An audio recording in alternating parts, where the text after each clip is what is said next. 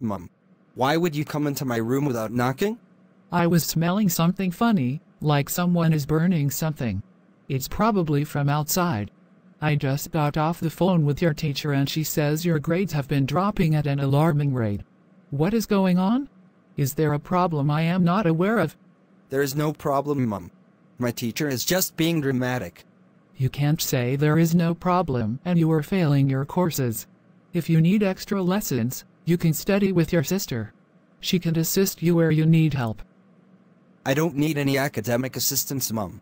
I would like to be left alone, please. Then, you better sit up. This had better be the last conversation I will be having with you concerning poor grades. I am not paying all that money at your school for you to take your studies nonchalantly.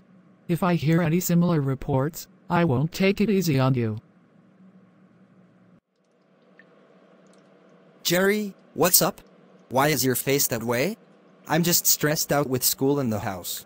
My mom and my teacher are breathing down my neck and I just need to be relaxed for now and feel on cloud nine. Are you with the pill? I am always with it. I am the only supplier in school. However, I can't give you because you haven't paid for the last two supplies I gave you. Come on, Bill. We are friends. I have exhausted my pocket money already. I will pay once I get more money. We are friends, but this is business. I need money to stock up or I will run out of the pills. Besides, you have recently been consuming triple the dosage you used to take. I think you need to slow down a little. I can't slow down. I am not myself if I don't take it. I need it. I think you need to look for other ways to get money and stop waiting for pocket money. Guys who use this pill need to always have cash, because it is addictive. Let me know when you are ready. This place stinks. I am having a terrible headache. I need to take that pill so I can relax.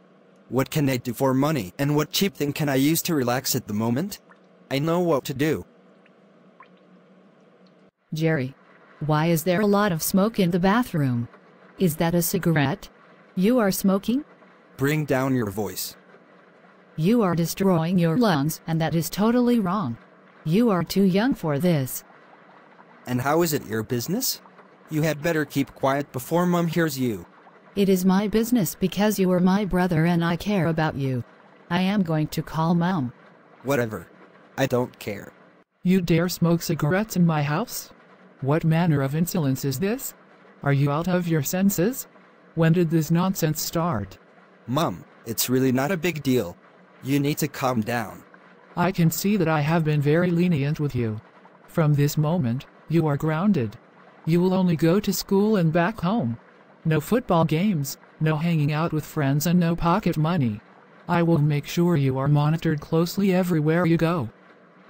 Get rid of that nonsense this minute and go to your room. Now. Good day, Principal Joe. I had to leave the office to come here immediately you called. I saw Jerry sitting outside the office. Is everything okay? You are welcome, madam. Before I proceed, I would like to know if everything is okay at home. Have there been any recent changes in the house? Everything has been fine at home and no recent changes. What is the matter? Well, a few unfortunate events happened and your son, Jerry is at the middle of everything. Firstly, he was caught smoking in the restroom. Then a few students complained that their money was stolen. Upon checking the school cameras, your son was clearly seen taking money from their bags without their knowledge. The footage will be sent to your email so you will verify that our accusations are not false. We were also unable to recover the money he stole because he claimed to have bought something. Stealing? Jerry was caught stealing money? As a result of his actions, he will be suspended from school for two weeks. This should give him ample time to reconsider the choices he makes. But Principal, please let's reconsider this punishment. You know the exams are fast approaching and he needs to be able to attend classes. I promise to deal with him accordingly. I will also see the school secretary to refund the money he took. I'm sorry but I have to disagree. The punishment is in line with the school's code of conduct, which all students and their guardians are aware of. I can't go against the set regulations for a student who actually deserves this punishment. I will advise that you take him to see a teen counselor to deal with this issue. This child will be the death of me. Thanks a lot, Principal Joe. My apologies for this situation. I will take him along with me now and ensure this never happens again. Bye. I am extremely disappointed in you, Jerry. How could you do this? I was so embarrassed when your principal was talking. So you kept on smoking even after I warned you and now you graduated to stealing? Why do you want to bring disgrace upon our family? Mom, my classmates are looking. Stop shouting. You are embarrassing me. Is that the problem? Something is wrong with your brain.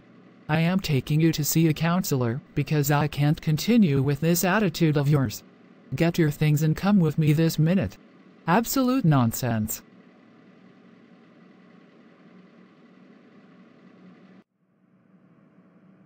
Welcome, guys, to our weekly meeting where we talk about issues affecting us, support each other, overcome challenges together, and celebrate breakthroughs.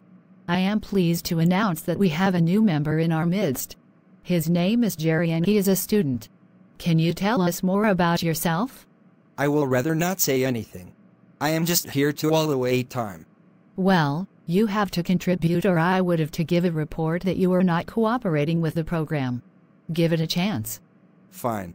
I am Jerry, like she said. I am here because I got suspended from school for a very flimsy reason. I also think this is a waste of my time. That's all. Thanks for sharing your feelings, Jerry. With time, you will get to understand what this meeting is about and you will appreciate the support. I sincerely doubt it. Moving on to our topic for the week self control. Jerry, this is a very interesting topic and I need you to listen to everybody's input. You will learn a lot, trust me. I am listening. My son, I have come here to talk to you like a mother. You used to be a loving and sweet child, but now you smoke and you steal. What happened?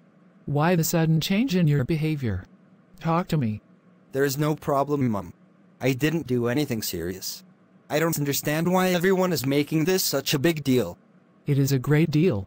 Crime starts small and before you know it, it blows up. I know I trained you to be a good person, so all this has to stop. Do not bring shame upon our family with your actions. The neighbors have started talking already.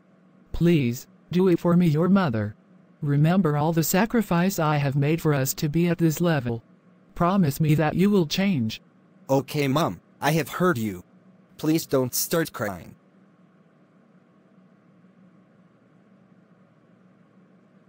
I am feeling sleepy already. I need to rest. Good night. Thanks for listening to me. Sweet dreams, my child. Jerry, why did you call me to meet you here this late at night? Thanks for coming. I really need the pills. I have enough cash to settle everything I am owing you. Look at the cash.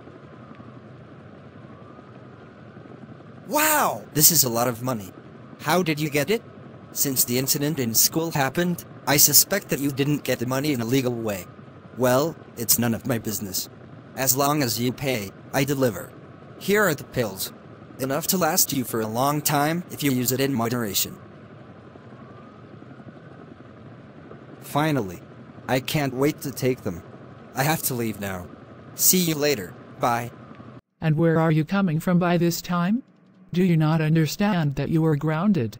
I was tired of living like a prisoner, so I went out for a walk. That is what you get for behaving like a criminal. The reason I am waiting for you is because I noticed that the money I kept in my safe is missing. The lock was tampered with and the money was stolen. Jerry, did you take my money? Your money? I did not touch your money. I am innocent. Have you asked Bella? Your sister doesn't know anything about it. It's fine. I am going to invite the police since nobody knows who took the money. The police? No, don't call them. I am the one who took your money. I am sorry, Mum. I used the money to buy some things. You unrepentant criminal. You stole from me, your own mother. I have scolded you, punished you, spoken to you gently, taken you to see a counselor, but you have refused to change your ways. I can't deal with you any longer. I am going to call the police to lock you up. You deserve to be in prison. Please, Mum, do not call the police. I promise to change. I am sorry. I will find a way to refund the money. I can't do that from the police cell. This is your last chance. If you try anything like this again, I will throw you out of this house. Go into your room and think about your life. Get out. Officer, all my money, jewelry and gadgets were stolen. I only went to the vet with my puppy and now, everything I own is gone. Where will I start from? This looks like the person knew you wouldn't be home and decided to rob at that time. Can you think of anyone who will do this? No, officer, I can't think of anybody who will want to steal from me. I know all my neighbors and they are good people. Except one. Well, we have been hearing rumors of how a young boy that lives in this street steals and uses hard drugs. He steals from his family and friends. Recently, he was suspended from school for stealing. He is the black sheep of the family because his mom and sister are nice people. That is a good place to start. We will question all your neighbors and keep a close eye on him. Then we will check if his fingerprints match the prints we found on your safe. My apologies for the destruction of your property. I will personally ensure the culprit is found and brought to book. I need to leave now to begin my investigations. Thank you, officer. I just finished speaking with your principal, informing him of the situation, and he has given the go ahead to take you into custody. You are wanted at the police station in relation to the robbery on your neighbor's house. We found out that your fingerprint is the exact match to the print found on her safe. Your mother has also been notified and is on her way to the station. Get up and move. Oh no! What have I done? Bella, you came to see me. Yes, we heard the judge's verdict to send you to a juvenile detention center in another state. I wanted to see you before they moved you there. We tried all we could but nothing worked. What about mom? She hasn't come to see me. What about my friends in school? No one has come. Mom is not coming. She will be upset if she knows I came to see you. She warned me to stay away from you just like other parents are warning their children. The school also sent your letter of expulsion to mom and dissociated themselves from this case. Oh no. I have destroyed everything. But why did you do this? Why did you soil our family name? Wherever we go, people gossip about us. At school, at church, at mom's office, in the market and on social media. Mom is considering moving to another place because of everything and I don't blame her. I am sorry for my actions, Bella. Please forgive me and beg mom to forgive me too. I am sorry for the heartache I caused. I lacked self-control and it was all my fault. I wish I could turn back the hands of time. I would have done things differently. It is okay, I will try to convince her to come and see you before they move you. I have to leave now before she realizes I'm not home. Take care of yourself. Bye. Nobody wants to be associated with a common criminal like me any longer. Even my own mother has refused to come and see me because of my actions. I am truly the architect of my own misfortunes. I promise to turn a new leaf once I am released.